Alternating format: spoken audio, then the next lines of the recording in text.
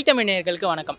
முன்னாள் முதலமைச்சர் செல்வி ஜெய ஜெயலலிதா மறைஞ்சு இன்னையோட ஆறு ஆண்டுகள் ஆகுது இதனால மக்களோட மனநிலையும் தொண்டர்களோட மனநிலையும் எப்படி இருக்குன்னு கேட்டு தெரிஞ்சுக்கலாம் வாங்க. அம்மா ரொம்ப நாளாவே பிடிக்கும் எனக்கு. அம்மா வந்து ரொம்ப பிடிக்கும். எம்ஜிஆரை பிடிக்கும். அதுக்கு அடுத்தது அம்மா. அம்மா சின்ன வயசுலேருந்தே பிடிக்கும். எனக்கு ரொம்ப பிடிக்கும். அம்மாவை தான் நாங்கள் வந்து தெய்வமாக நினச்சிட்டு இருக்கிறோம். அம்மாவை பிடிக்காத ஆள் இந்த உலகத்தில் யாருன்னா இருக்கா? அம்மாவை எல்லாருக்குமே பிடிக்கும். அவங்க வந்து எல்லாருக்கும் ஒரு அம்மாவா வாழ்ந்து காட்டிட்டு போயிருக்காங்க.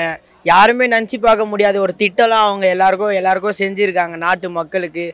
எல்லாருக்கும் அவங்க வந்து ஒரு எடுத்துக்காட்டாக வாழ்ந்துட்டு இந்த உலகத்தில் போயிருக்காங்க. அம்மா எனக்கு நூறுக்கு நூறு நூறுக்கு நூற்றம்பது பிடிக்கும். அம்மான்றது வந்து எங்கள் அம்மா எப்படி பிடிக்குமோ அதே மாதிரி அம்மாவை பிடிக்கும். அம்மாவை தமிழ்நாட்டு அரசியல்வாதியில் அவங்க அவங்கள பார்த்து தான் நான் அரசியலுக்கு வந்தேன். அம்மா வந்து நம்ம தாய் மாதிரி. அதாவது தமிழ்நாட்டுக்கே தாய். ரொம்ப பிடிக்கும் ஹண்ட்ரட் பர்சன்ட் பிடிக்கும். திருவையிலேருந்து ரொம்ப பிடிக்கும். எங்களுக்கு ரொம்ப பிடிக்கும். பிடிக்கும். அம்மா வந்து சின்ன வயசுலேருந்து அம்மா தான் எங்களுக்கு எல்லாருக்குமே. அம்மா எனக்கு சின்ன பிள்ளையிலேருந்து பிடிக்கும் சார். சின்ன பிள்ளையிலேருந்து எங்கள் குடும்பமே அம்மா தான் எங்கள் தொழிலுக்கு கைத்தறி நெசவாளர் குடும்பத்துக்கே அம்மா தான் நல்லா உதவி செஞ்சது.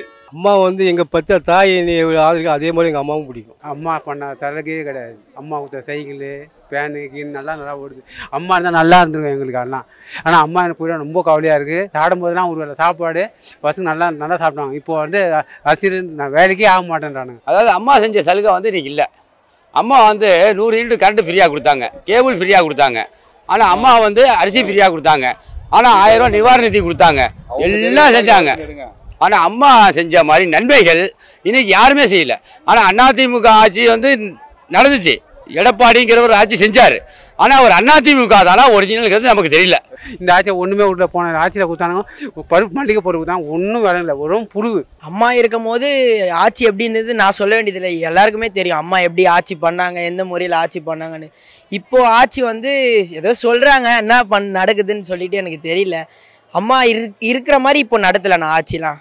அம்மா அம்மா தான். அம்மாவுக்கு ஆப்போசிட் வந்து அம்மா மட்டும்தான். இப்போ இருக்கிற இந்த அரசியல் தலைவரோ எதிர்க்கட்சி தலைவரோ யாரோ கூட அம்மாவுக்கு நிகர் அம்மா மட்டும்தான். புரட்சி தலைவர் எம்ஜிஆர் மாரி அம்மா அதோட கச்சை வந்து மேலே எடுத்துகிட்டு போனாங்க. அவரோட அவர் வந்து ஒரு வழி காட்டினாரு. அந்த அம்மா வந்து பாதை போட்டு எல்லாரையும் கூட்டிகிட்டு போனாங்க. புரட்சி தலைவி அம்மா தான். அதனால அவங்களுக்கு நிகர் அவங்க மட்டும்தான். அம்மா மட்டும்தான் அம்மாவுக்கு நிகர். அம்மாவுக்கு எதிராக யாருமே கிடையாது இந்த உலகத்தில். மேலே மேலே முன்ன வந்து சொல்கிறாங்களா வல்லரசு வளர்த்துன்றாங்க. தமிழ்நாடு வல்லரசு ஆயிருக்கும். அம்மா இல்லாத நாடம் கரண்ட் இல்லாத வீடும் ஒன்று அம்மா வந்து ஒரு சிங்கம் மாதிரி. அவங்க இருக்கும்போது ஒவ்வொரு மந்திரியும் அன்னைக்கு அன்னைக்கு வந்து டிவியில் பார்த்து தான் அன்றைக்கி மந்திரின்றதே தெரியும்.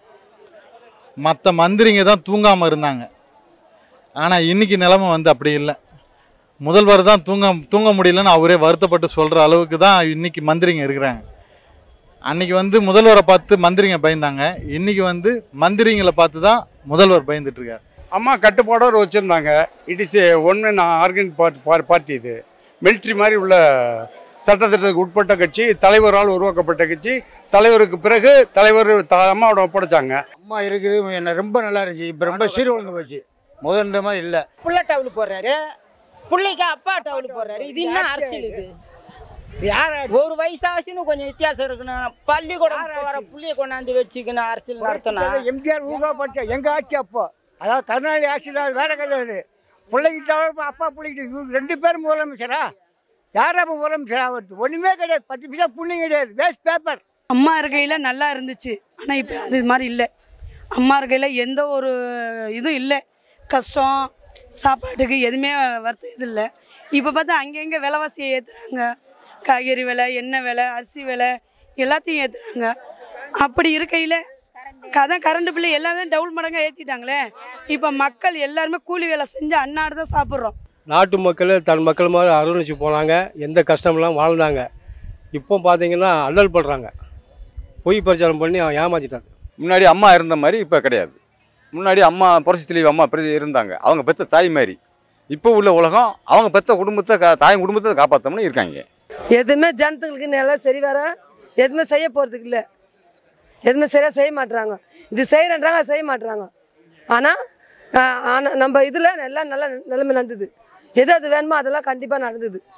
ஜனத்துங்களுக்கு என்ன தேவை என்ன வசதி எப்படி போகணும் அதெல்லாம்.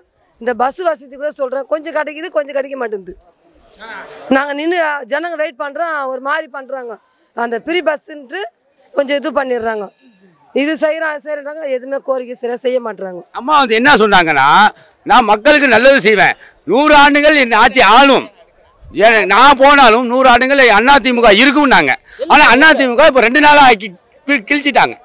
பிரிச்சிட்டாங்க அதாவது அதிமுக என்னைக்கு இருக்கும் எம்ஜிஆர் ஆரம்பிச்ச கட்சி. எம்ஜிஆர் ஆரம்பிச்ச கட்சிக்கு யாருக்கும் உரிமை கிடையாது. தொண்டனுக்கு தான் உரிமை. சும்மா வந்து எல்லாரும் வந்து கட்சி தொண்டர்கள் கட்சி தொண்டர்கள்னு சொல்றாங்க. ஆனா யாரும் வந்து கட்சி தொண்டர்களை பார்க்க மாட்றாங்க? அது ஐயா எடப்பாடியா இருக்கட்டும் ஐயா ஓபிஎஸ்ஸா இருக்கட்டும் அவங்களுக்கு தனிப்பட்ட பிரச்சனையை தான் பார்க்குறாங்க கண்டி அதிமுகவை நம்பி இருக்கிற தொண்டர்களுக்காக யாருமே பார்க்க மாட்றாங்க. இதை பார்த்தா ஏன் நான் சண்டை போட போறாங்க? எல்லாரும் வந்து அவங்களுக்கு தனிப்பட்ட முறையில் நீ உன் சொன்னால் நான் ஜெயிலுக்கு போயிடுவேனா நீ தப்ப சொன்னால் நீ போயிருவியான்னு சொல்லிட்டு தான் பார்க்குறாங்களே கண்டி. நம்ம எல்லாம் ஒற்றுமையாக இருக்கலாம். நம்ம தொண்டர்களுக்கு பாதிப்பு ஏற்படக்கூடாது. நம்ம நம்ம ஆட்சி நத்தலான்னு சொல்லி யாருமே எந்த தலைவரும் நினைக்க மாட்டாங்களே அதனால தான் இப்போ வேறு கட்சி நாட்டு ஆளுன்னு இருக்காங்கண்ணா. எதிர்கட்சி இப்போ நாட்டு ஆள்றாங்க ஒற்றுமையாக இருக்கணும் தானே எல்லாருமே ஆசைப்படுறாங்க. அரசியலில் சில பித்தலாட்ட விளையாட்டுகள் நடந்ததுனால தான் இப்படி திட்டமிட்டு சிலர் வந்து புறக்கணிக்கணுங்கிறக்காக ஏற்பாடு பண்ணது. எல்லாமே யாரால் உருவாக்கப்பட்டது யாரால் கொடுக்கப்பட்டதுன்னு தெரியும். பிச்சை போட் வாங்கியவர்களுக்கு இவ்வளவு இது இருந்தால் பிச்சை போட்டவர்களுக்கு எவ்வளோ இருக்குங்கிற ஒரு இது இருக்குது அது மாதிரி அரசியலில் வந்து நன்றி விசுவாசங்கிறது இருக்கணும். அரசியல் வந்து பொய் சொல்லக்கூடாது. சத்தியப்பிரமாணம் எடுத்து தான் பதவிக்கு வர்றாங்க. வந்தவங்க எல்லாருமே முதலமைச்சராக வந்துட்டு வெறும் பொய்யா சொல்கிறாங்க இதான் அம்மா உயிரோடு இருந்திருந்தாங்கன்னா நான் அத்தனை பேரையும் சவுக்கடி அடிச்சு எங்கே அனுப்பணுமோ அங்கே அனுப்பிச்சிருப்பாங்க. திட்டமிட்டு பிடிக்கலைங்கிறக்காக பதவி சுகத்துக்காக திட்டமிட்டு பழி சொல்கிறாங்க இப்போதான் மூணா பிரிச்சு விட்டாங்கல்ல. அடுத்து நாங்க குக்கர் சின்னந்தேன் அடுத்த தலைமுறையில் அம்மா அடுத்த வ- வ- வருங்கால ரெண்டாயிரத்தி இருபத்தி ஆறில் அண்ணன் டிடிவி தினகரன் அவர்கள் தான் இந்த ஆட்சியை பிடிப்பார். அவர்கிட்ட தான் இந்த திறமை இருக்குது. சின்னம்மா தயவால் பொதுமக்களோட ஆதரவில் அவங்க தான் ஆட்சியை பிடிப்பாங்க. திருத்தி பசிய பசி இதோ போக்கணும்னா சின்னம்மா வந்தாதான் பழையபடி இது தமிழ்நாடு தமிழ்நாடா தெரியும். சின்னம்மா தலைமையில் ஒன்று சேரணும். அதான் டிடிவி தினகரன் சின்னம்மாவை இதை விரும்ப விரும்புகிறாங்க எங்கள் பசங்களுக்கும் சரி எங்களுக்கும் சரி எங்கள் குடும்பத்தில். ஒரு ஹாஸ்பிட்டலுக்கு போகணுன்னா கூட என்ன ஏதுன்னு பார்க்க மாட்டேங்கிறாங்க. அதே அம்மா அந்த இடத்துல இருந்தால் விடுவாங்களா? எவ்வளோ செஞ்சுருக்காங்க ஹெல்ப்பு அம்மா செஞ்சுருக்குது ஆட்சியில். கவர்மெண்ட் ஸ்கூலு சரி கவர்மெண்ட் இடத்துலையும் சரி ஒரு இடம்னா கூட சுத்தமாக வைக்கிறாங்க. இப்போ எல்லாம் சுத்தமாக இருக்குதா? எதுவுமே கிடையாது. அம்மா ஆட்சி வந்தால் தான் சுத்தமாக எல்லாமே இருக்கும். பசங்களுக்கு படிப்பெல்லாம் இலவசம்னு சொல்லியிருக்காங்க. எங்கே இலவசம் பண்ணுறாங்க அதையும் காசு தான் பிடுங்குறாங்க. கவர்மெண்ட் ஸ்கூல்லையும் காசு தான் வாங்குறாங்க. யார் யார் லஞ்சம் வாங்காத இருக்கிறா? எல்லாமே லஞ்சம் வாங்குறாங்க. நாங்கள் வாடகை வீட்டில் இருந்தால் கூட அம்மா தான் நினைக்கிறோம். சின்னம்மா தான் வருவாங்க. அவங்களுக்கு தான் எங்கள் ஓட்டு. வருங்கால பிரதமர் அம்மா தான் மறுபடியும் அம்மா இருந்த நிலைக்கும் புரட்சியாளர் எம்ஜிஆர் இருந்த நிலைக்கும் கொண்டு வருவோம். அது தமிழ்நாட்டினுடைய தொண்டர்களும் தமிழ்நாட்டு மக்களும் ஒத்துழைப்பாங்க. கண்டிப்பாக நிறைவேறும்.